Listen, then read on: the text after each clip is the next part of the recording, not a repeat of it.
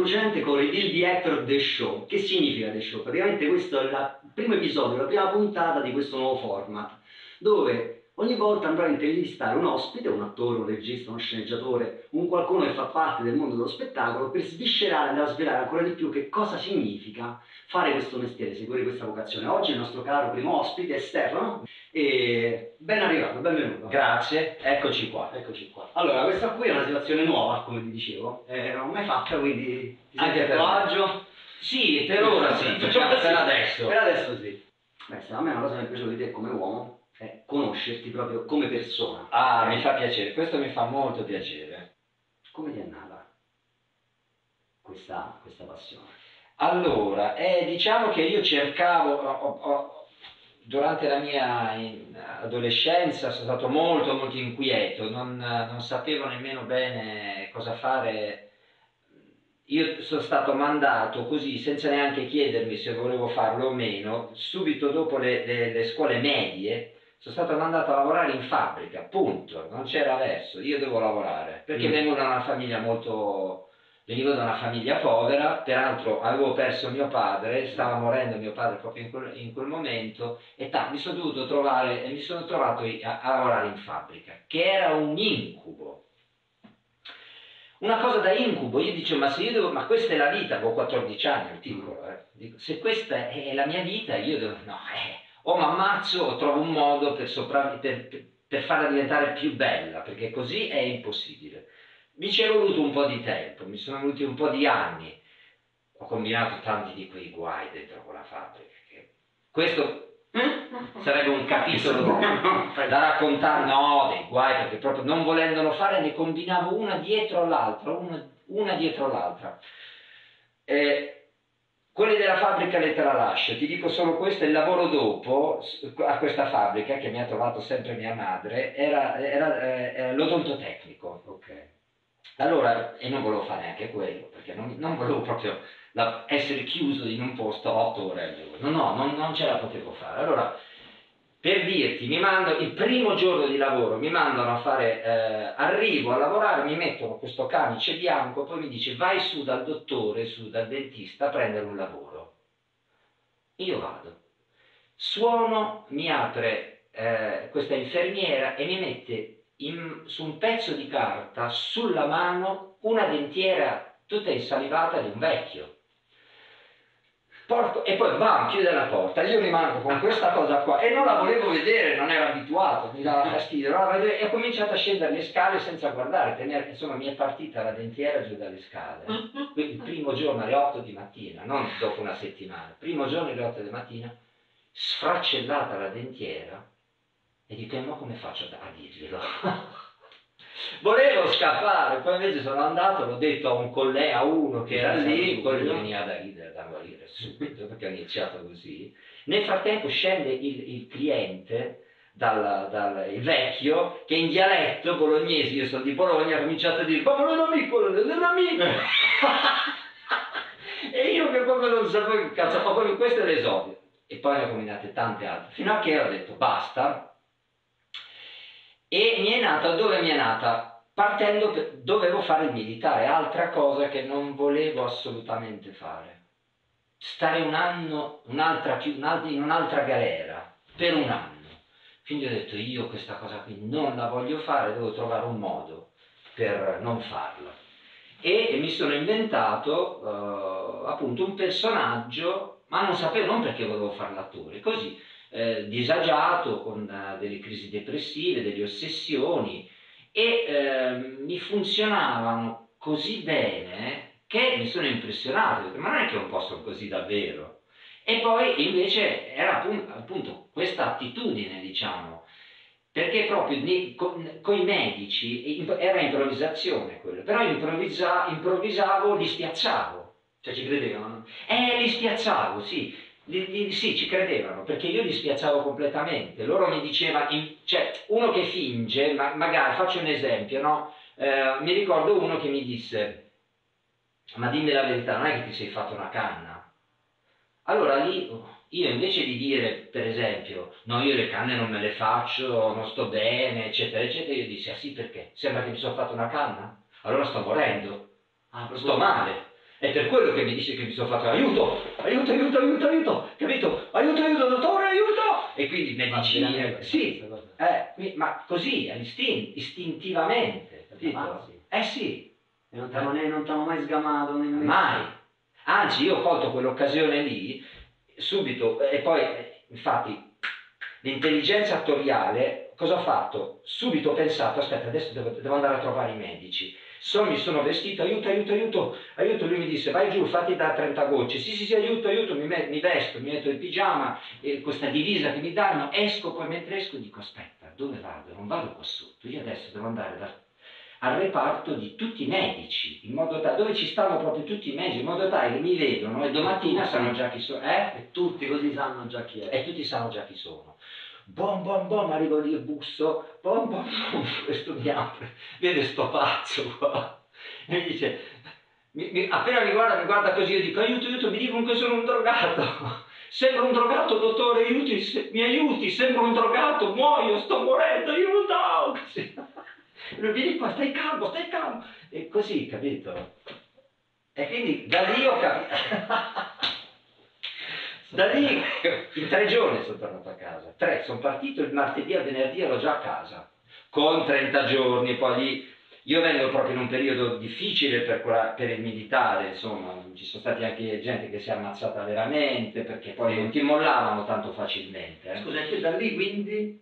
Da lì ho detto... Uh, e, e, da lì, e poi c'era sempre le donne sono sempre un legame molto forte. Da lì poi c'era una, una, una che mi piaceva che si, si, iscriveva a un corso di recitazione e io ho legato quelle due cose lì, ho detto però cavolo anche a me interessa questa cosa. In più c'era questa ragazza che mi piaceva e mi sono iscritto e da lì... Che età avevi? Avevo 21 anni. Quali sono per te le paure che vai ad affrontare quando reciti? Sai che non ci ho mai pensato te ti riesce naturale comunque, non hai timori, non hai paura. Io mi cago in mano, eh, io mi cago in mano, quando devo andare a recitare non è una cosa semplice, cioè lo devo studiare bene, devo prepararmi, cioè più sono preparato più sono sereno sicuramente, eh, no? eh, eh, eh, eh però è sempre un tanto più il teatro, ecco il teatro, sì pure, pure il cinema sicuramente, però il teatro ogni volta che sali, che si apre, che vai sul palco, veramente ti, ti, ti, ti è da morire, no, no, no, no, da morire, appunto ti stavo dicendo, sicuramente in teatro molto di più che in cinema, perché in Cina, meno male, sì, è chiaro che puoi andare nel panico, comunque anche lì di non riuscire a farne manco una, manco un chuck, però bene o male puoi interrompere, insomma. Ecco, c'è stato tipo qualche chuck, qualche, qualche, c'è stato qualche, qualche lavoro dove ti sei cagato in mano? Dove te la sei fatta? C'è qualche lavoro dove hai avuto paura? Allora, in cinema e in tv mai, allora soprattutto...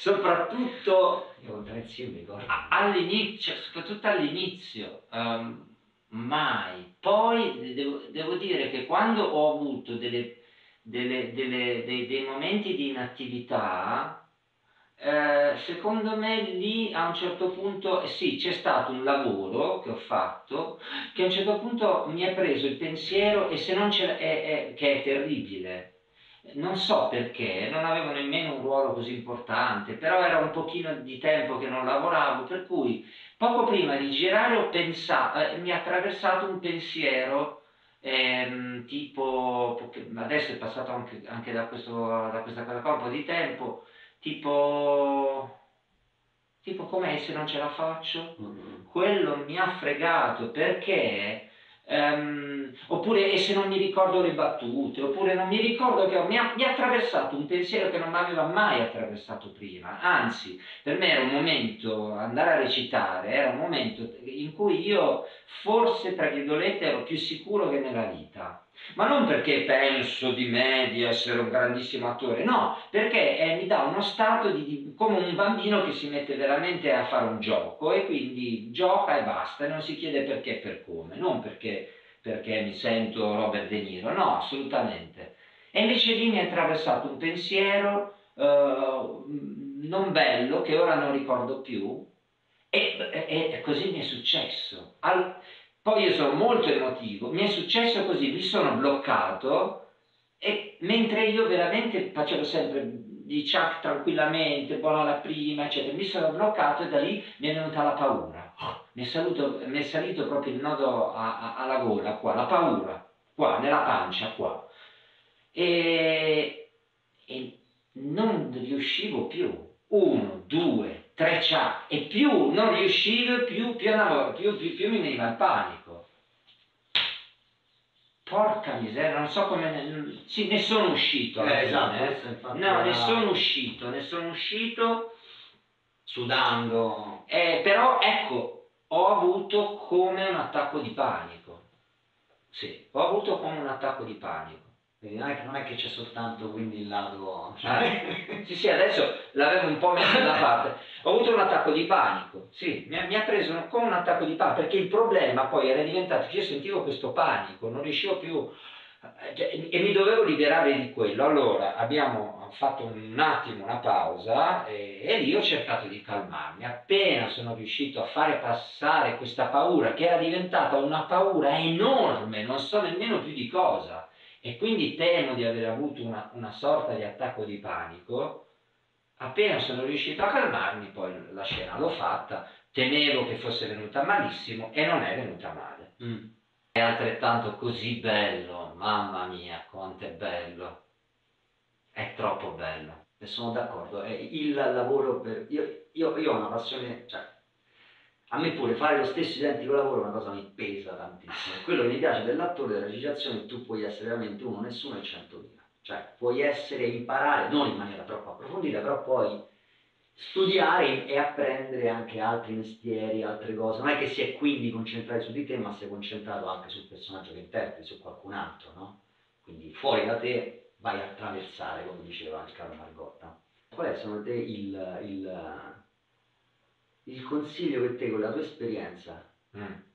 che ti senti di dare a qualcuno che vuole intraprendere questo, questo cammino. E qua lo metto in crisi perché non so ovviamente la risposta. E non so assolutamente cosa rispondere. Le ho detto precedentemente, ma ha detto ah, non lo so. Dico, ah, perfetto, non ti preoccupare, non te la faccio sta domanda di la facciamo. Maledizione. Allora la prima cosa, eh, innanzitutto non si può, io ho capito una cosa, che è un lavoro dove non puoi permetterti di essere depresso, mentre... Tosta! Sì, secondo me questa è la prima cosa. Tosta! Questa è la prima cosa. Non dare spazio alla possibilità di deprimersi, che però se uno ce l'ha dentro, una, una forma di malinconia, di depressione, di disagio, come quasi tutti gli attori hanno, non solo gli attori, sì. lo specifico, anche le attrici, eh, anche, no. le attrici e anche tutti, tutto il mondo del lavoro, cioè le persone sono persone, non è che solo sì. un, certo, un determinato settore ha dei disagi, se no tutti matti sono, è, un è un po' un luogo comune dire che gli attori sono matti, non vuol dire niente. No però sicuramente uno si avvicina a questo tipo di cose per già un'insoddisfazione, una voglia di trovare qualcosa, eccetera. E, ehm, molte persone, cioè è, è, anzi è un lavoro che porta alla depressione, per forza, cioè ci vuole una stabilità interiore talmente alta per sopportare tutto appunto quello che c'è dietro visto che comunque se uno non è figlio Dio, non so che cosa, è, una, è, è un percorso lunghissimo che non si sa dove va a finire, eh, se uno poi non ha appunto tanti soldi di famiglia deve trovare il modo di guadagnarli in tutti i modi, insomma, quindi tutto ciò, poi l'essere preso, non preso, selezionato, quello sì, quello no, stress, eh, quella è un'altra cosa che... Mamma mia e poi eh, improvvisamente ce la fanno delle persone che non, non, si capisce perché, altri invece magari che partono in un modo, avevano un gran talento, no, eh, è un mondo che non ha una regola, non, c'è mai capito. no, non c'è una come funziona. Ah, io una secondo eh, me una c'è, eh. secondo me, ed è quella che consiglio a tutti, la costanza, io ho capito questo, perché il talento ci può stare, non ci può stare, l'abilità si può avere o non si può avere ma può essere acquisita, ok? Dice ok, è un mestiere alla fine, quindi ci sono anche gli attori mestieranti che sanno come porsi sul set, come imparare in base all'obiettivo, alle luci, eh, microfono, come gestirti le scene, come gestirti, cioè sono cose che si, è un mestiere che si può imparare tecnicamente. Poi c'è il discorso del talento, ok? Però io so che entrambe le, dire, le, due, le due, caratteristiche, le due capacità, è come se devono fare un, un, una corsa ed è una maratona, non è uno sprint. Il talento probabilmente è più sprint, quindi ti batte sui, sui 100 metri, sui 200 metri e, e, ti stacca proprio da quello che è più mestierante. Però è una maratona, cioè so 40, so 50 km, sono, sono tanti chilometri, che dura tutta la vita fondamentalmente. Io so per esperienza che ho visto, chi è costante, è costante, comunque sia nel lungo termine, porta più risultati. Che Ma costante in cosa? In fare il mestiere, a portare avanti il mestiere dell'attore, che è non soltanto ovviamente stare sul set o stare a recitare, il mestiere dell'attore è anche tutto quello che c'è dietro le quinte, che sono le relazioni pubbliche, che sono riuscire a presentarsi, riuscire anche a mantenere il giusto, tu dicevi il discorso della depressione, oggi viene chiamata mindset, viene chiamato, come dire, uh, attitudine, queste cose qui, no? Essere focalizzato, ecco, essere focalizzato.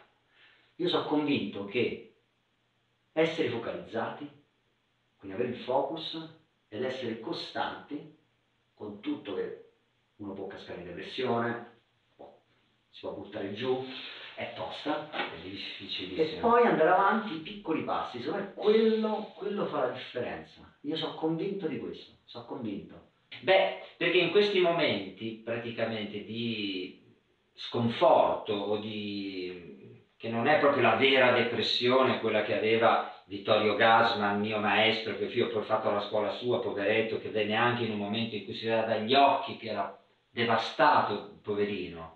Quella si chiama depressione maggiore. Questi sono momenti, eh, sono depressioni reattive, chiamate reattive proprio in, in psicoterapia eh, cercando appunto di ritrovare un senso, di ricrederci, perché in questi momenti tu non ci credi, dici ma eh, non è, io non ce la faccio, cioè, non ce la faccio io, io ah, per me, e poi cominci a dire dipende dalla fortuna, che la fortuna è importante, però anche lì apriamo un, un barco, eh, è importante, ma la fortuna va a trovare proprio quello che, sta su, che è vicino all'onda della fortuna come a tipo di atteggiamento, come... Carina, la fortuna d'onda mi piace, eh. immagina, eh? È vero. Bisogna avvicinarsi al... Eh, ma ti devo regalare un libro, è vero che ti devo regalare un libro, ti avevo detto. Ripartire dal crederci mm. che ce la puoi fare, perché se io ti dico, ma tu sei, sei sicuro che, da così di ti sicuro che ce la fai a diventare, a lavorare molto bene, molto bene, molto bene, mm. ci credi veramente? Quindi insomma sono domande... No, te, rispondi distinto. Eh, perché sì, io ci credo, perché se no starei neanche qua ragazzi. Ah, io ho passato okay. esattamente questo, nel senso sta dicendo adesso pure Stefano. Uh, io l'ho passato. Cioè, eh. proprio, boom, boom. Eh, ed è tosta, è tosta, perché poi è una lotta interna proprio, no? Una lotta con, con te stesso proprio. Ed è lunga.